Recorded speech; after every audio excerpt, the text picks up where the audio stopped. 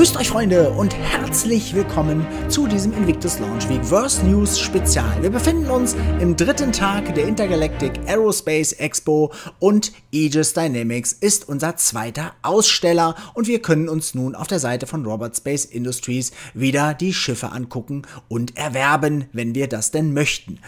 Anvil Aerospace ist ebenfalls noch da, das zeige ich euch jetzt aber mal hier anhand dieses ersten Reiters. Da gehen wir mal ganz kurz rauf, gehen dann auf Few More und dann sehen wir dann schon die Aegis Dynamics Schiffe, die hier ja wunderbar wieder inszeniert sind von Robert Space Industries. Ihr könnt übrigens, und das wusste ich vor zwei Tagen noch nicht, hier unten links könnt ihr zurückgehen, da seht ihr dann wieder Anvil Aerospace zum Beispiel. Ne, da könnt ihr dann auch wieder die ganzen Schiffe, die ich euch vor zwei Tagen schon mal gezeigt habe. Und wenn ihr jetzt hier in diese Schiffe reingeht und auf View by Options geht, dann seht ihr hier unten auch die Farben. Und das sind auch die neuen Farben, die mit Anvil Aerospace gekommen sind. Das sind Farben für die Pisces und das ist einmal dieser Nightbreak Paint und dieser Scrumbleland Paint. Den könnt ihr euch einmal in dem Pack kaufen für 7,36 Euro oder halt auch einzeln, wenn ihr das möchtet. Ich zeige euch aber ganz zum Schluss nochmal eine Seite, wo ihr einfach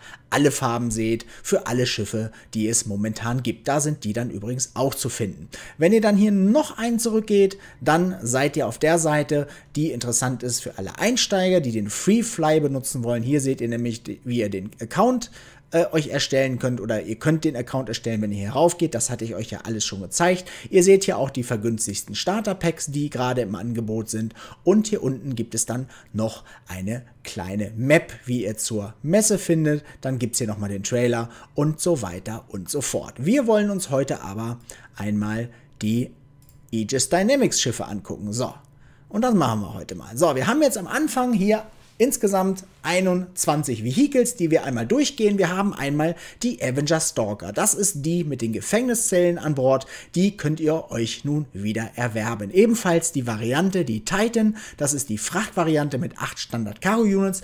Ist ein super Einsteigerschiff. Gibt es ja auch, habt ihr ja gerade schon gesehen, in diesen vergünstigsten Starter-Packs. Dann haben wir eine besondere Variante, die Avenger Titan Renegade mit einer besonderen Lackierung. Ist im Prinzip die gleiche wie diese Titan, nur halt mit einem besonderen Loadout und einer besonderen Lackierung und wurde einer besonderen Person gewidmet. So, dann haben wir hier die Warlock. Die hat ein EMP hinten drin.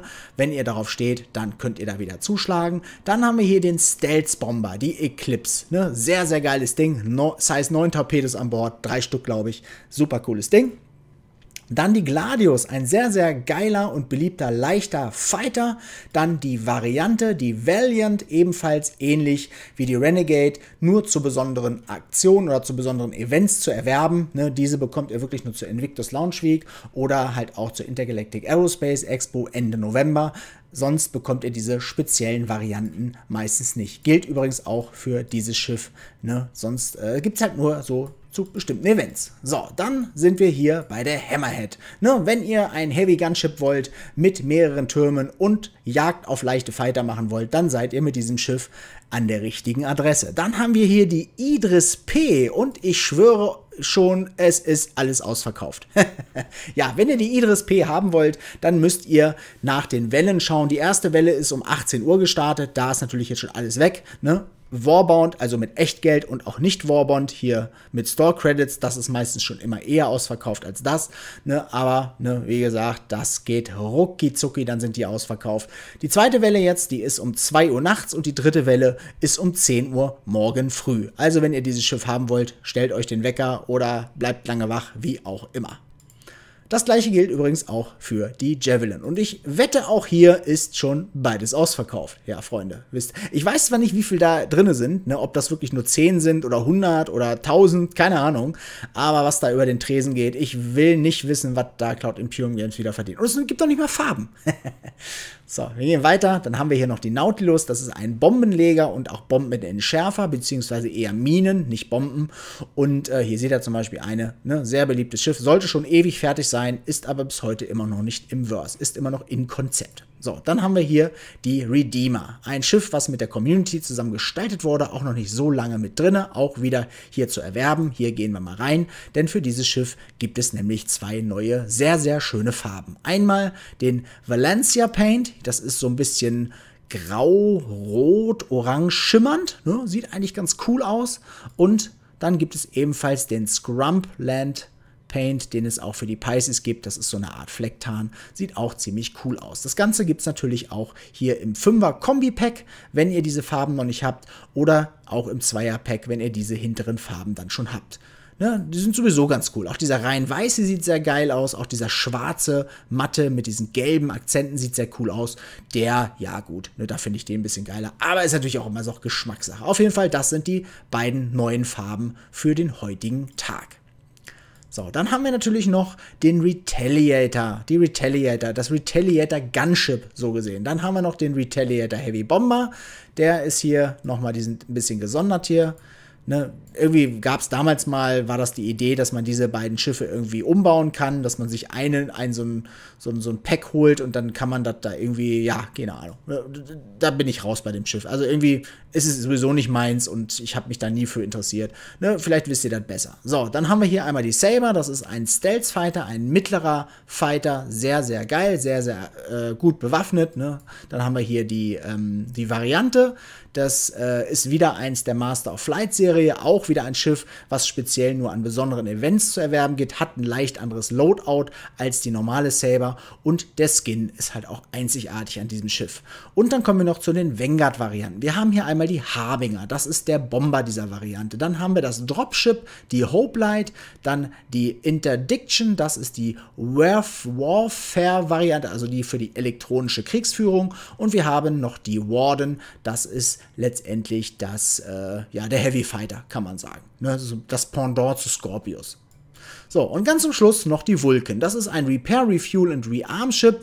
Das ist aber anders wie bei der Starfarer. Hier fährt kein Schnorchi aus, sondern hier fliegen dann so Drohnen raus, die diese Schiffe dann reparieren und auftanken und vielleicht auch nachmunitionieren. Wahrscheinlich sogar. Ne? So, das sind die 21 Vehicles von Aegis Dynamics. Dann haben wir noch das Warbond Daily Deal Upgrade. Das ist die Vanguard Sentinel mit 10 Jahren Versicherung. Und ich habe mir jetzt auch erklären lassen, was das Besondere daran ist, weil ich dachte immer, wieso, ich kann nur alles hier upgraden. Aber diese Daily Deals, die sind einfach vergünstigt. Ja, ihr kriegt dieses Schiff, wenn ihr darauf upgrade, dann einfach günstiger als sonst. Ne? Also, ne, wenn ihr wollt, Sentinel, das ist euer Schiff, dann Gib ihm. So, dann haben wir noch das Video, das haben wir schon gesehen. Und hier unten gibt es dann noch ein paar Concierge-Packs. Also wenn ihr über 1000 Dollar schon an CIG gespendet habt, dann könnt ihr hier zuschlagen. Alles einschmelzen von Aegis Dynamics und neu holen. So, das ist natürlich, da braucht er nicht einschmelzen, aber das müsst ihr mit Echtgeld bezahlen. Da ist die Stalker, die, äh, die Titan, die Titan Renegade, die Warlock, die Eclipse.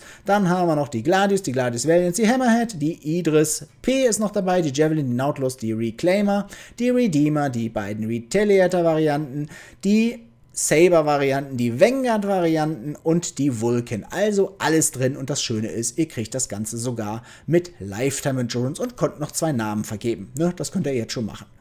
So, und dann haben wir das Ganze noch mit Store Credits. Da kostet das dann ganz ein Tausi mehr. Aber da habt ihr eigentlich das gleiche drin. Auch Lifetime Insurance für alle Schiffe. Und äh, ja, wunderbare Sache für jeden Fan von Aegis Dynamics. Und dann haben wir noch ein Aegis Gear Pack. Da gehen wir auch nochmal ganz kurz rein. Da gibt es, glaube ich, eine, genau einen Hut und ein T-Shirt von Aegis. Aber ihr könnt auch hier komplett zuschlagen. Oder ihr kauft euch das T-Shirt einfach in-game. Das gibt es nämlich auch. Ne? So, und dann gibt es hier noch den Hinweis auf den Merchandising Shop.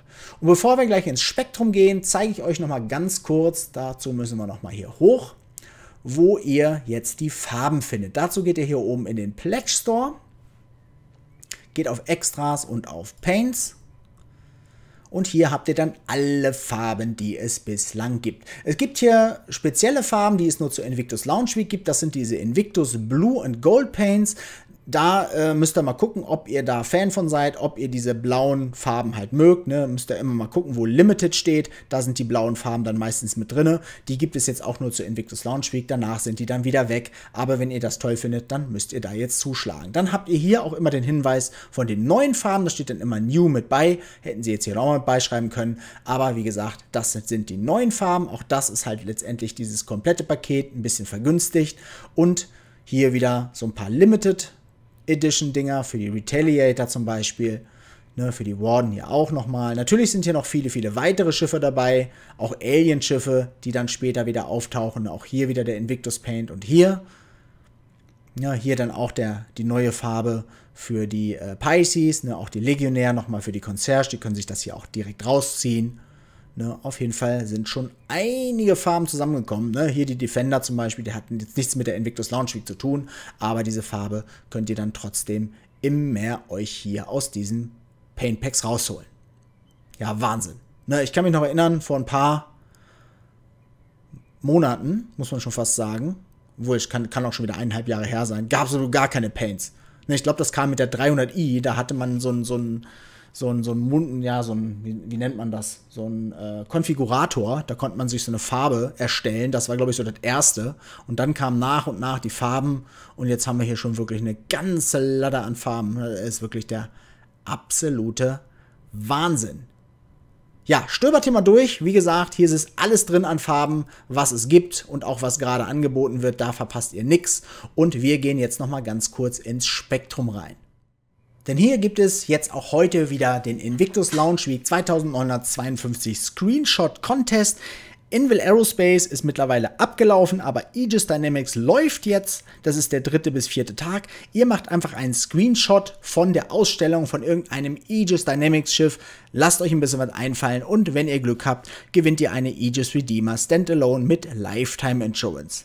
So, hier steht das. Ne? Das Ganze endet dann um 11.59 Uhr PM Pacific. Das müsste bei uns um 2 Uhr Nacht sein. Macht's einfach vorher, ne? vor dem 23.11.59 Uhr und dann seid ihr auf jeden Fall mit dabei, Freunde. Das so viel zum heutigen Tag, zum dritten Tag der Invictus Launch Week. Ich melde mich wieder zurück, wenn es was Neues gibt. Macht es gut, tschüss.